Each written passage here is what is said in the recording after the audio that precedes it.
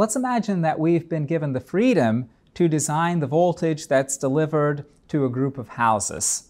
Should we deliver a high voltage or should we deliver a low voltage? Of course, we don't want to deliver a voltage that's so high that it's obviously dangerous. We're not going to deliver 22 kilovolts to a house. But imagine that we have two low voltages to choose from. Should we choose the higher one or should we choose the lower one? Well, there are really two considerations here that we need to think about, cost and safety. So let's think about a high voltage house and a low voltage house and make some comparisons. Let's assume that the people living in the two houses use equal amounts of power. Of course, the amount of power used in a house depends on all the appliances that a person has in their houses. So we're going to assume similar uses of power in both situations. Now with the high voltage house, since power equals current times voltage, we're going to have less current passing through the electrical lines going into the house for a fixed amount of power. If we have less current passing through the wires, then those wires can be a little bit thinner. Therefore, the high voltage house is going to be a little bit cheaper when it comes to the amount of copper used in the power installation. Now let's talk about the low voltage house. If the voltage is lower in this case, then the wires used have to be thicker. So it's going to be a little bit more expensive to install the wiring in the low voltage house. But we have the benefit of safety. If somebody were to accidentally shocked, they're probably less likely to get killed than they are with the high voltage house. So we have a trade-off here to make. And in most of the world, the trade-off has centered around two main voltages.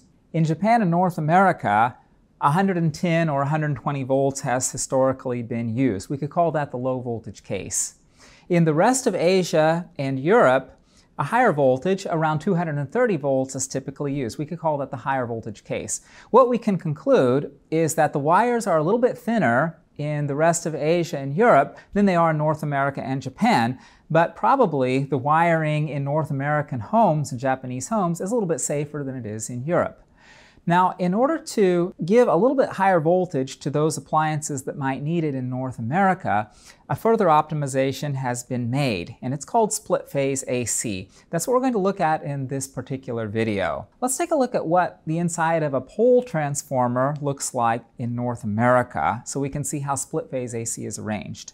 The primary connections are usually up here at the top of the transformer, and the secondary connections are over here on the side. These are called bushings, and sometimes you might see two bushings up at the top, one for hot and one for neutral, and sometimes you might only see one bushing up at the top. The neutral would then be tied to that on the secondary. If one of the bushings is larger and more dangerous looking than the other bushing, then that's usually an indication that that's a bushing for the hot connection. The high voltage side could be anything between about 4 kilovolts up to about 20 kilovolts, but the low voltage side in North America is usually fixed at 240 volts from one side of the transformer to the other. I mentioned that the subject of this video is split phase AC, and the reason it's called split phase is because there's a center tap on the secondary side of the transformer.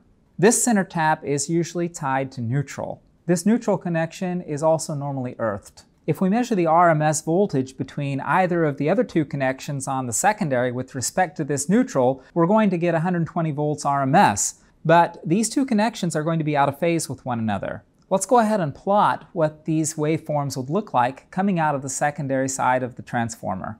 The amplitudes of both of these waveforms are 120 times the square root of 2 volts. That gives an RMS voltage of 120 for both cases, but as you can see, they're 180 degrees out of phase with one another. For example, in red, I've plotted the voltage between the high side of the transformer and neutral. The black curve then plots the low side of the transformer to neutral. We also have the possibility of tapping power across the two phases and forgetting about the neutral altogether. If I take the red waveform and subtract the black waveform, then I get the following brown waveform.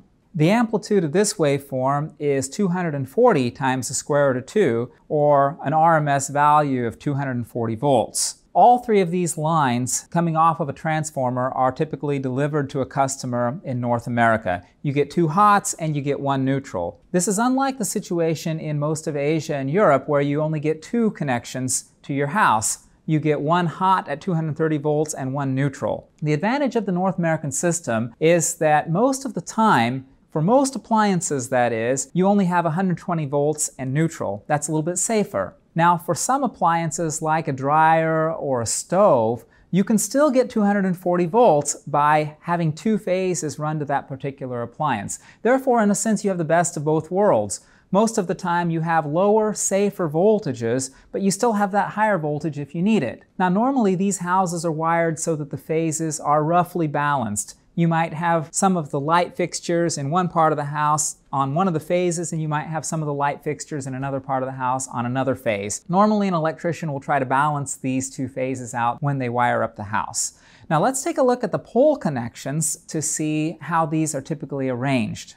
Some power poles might carry three phases of electricity and some might only carry one phase. It really depends on where you're at. This is an example of a pole that has only a single phase going to it. First thing I notice here about this photo is that a bird has built a nest here right underneath the transformer. That's probably a pretty nice dry place for the bird to build a nest and there's usually no danger to that but when we talk about animals Sometimes you'll see situations where a wild animal will gnaw through one of the hot wires, and of course that's usually not very good for the animal, especially if they happen to be sitting on the neutral when they're gnawing on one of the hot wires. There are a lot of wires here in this photograph, so what we're going to do is look at all of them and see what they do. Since this is a split phase installation, we know that we have one hot going into the transformer at a high voltage, one neutral provided by the utility company, and then on the secondary side of the transformer we should have two hots and one neutral. Where are these cables here in this photograph? We're going to start here with the primary side of the transformer. When you only have one phase on a pole, then normally the neutral will be on the lower side and the hot will be on the higher side. When you have three phases on a pole, or high voltages, then quite often you'll have a neutral going way up at the top for lightning protection. But usually when you only have a single phase on a pole, that static wire is missing. As I mentioned, the hot side is usually a few kilovolts, somewhere in the neighborhood of 4 kilovolts up to about 20 kilovolts or so. There would be three secondary connections to the transformer, two hots and one neutral. Normally the neutral is at the top of the secondary side. Normally the neutral wire would be at the top and the two phases would be just below it. The neutral wire is also typically earthed at the pole, and a lot of electrical poles might also have other lines going down to the ground. Now that doesn't mean that all of these lines here are ground wires. Some customers might get their service through underground conduit, so you might also have hots and neutrals going down the side of a pole we can see that the primary side connection to this transformer is made right here. This is a fuse, which is also called a cutout, and then this hot line leads to the primary bushing of this pole transformer. The neutral connections to this transformer are over here on the side. This cable right here actually has three wires twisted together, one neutral and the two hots. So probably some customer lives over in this direction and they're getting their power through this overhead cable.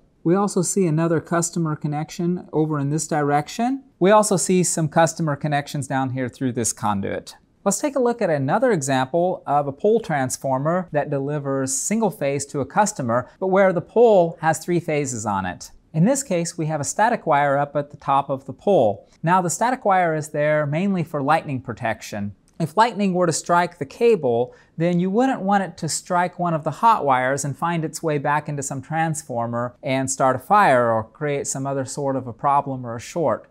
What you would want is for the lightning strike to be diverted safely to ground. So it makes a lot of sense to put a ground wire, a neutral, or in this case I'm calling it a static wire up at the top. You won't find these for the low voltage single phase poles because it's not really worth it. But when you have the taller poles that are more likely to get hit by lightning, then you'll often see the static wire here up at the top.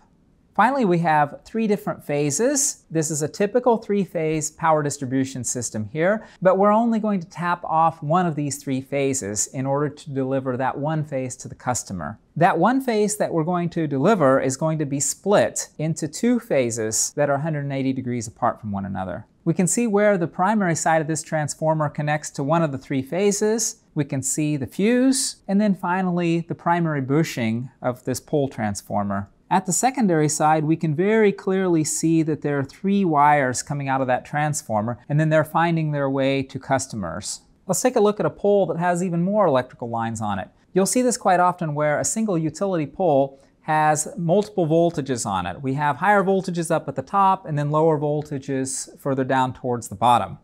I can tell these are higher voltages because these insulators are a little bit bigger. Neither of these three phases is used in this particular pole transformer here. It uses one of these three phases. Again, we see a connection to one of the three phases coming from the utility company, a fuse, and then a connection to the primary bushing of the transformer. On the secondary side, I see three different connections. I see a neutral coming out of the middle, and I see two hot wires coming out on either side of it. The neutral is tied to ground, and the three connections are delivered to customers here and here. The bottom line here is a neutral. This neutral is earthed in multiple locations throughout the network in order to provide network stability. We have a whole series of professionally filmed and edited videos in order to help students learn the fundamentals of electricity. If you like watching this particular video, then you might like to check out some of our others too.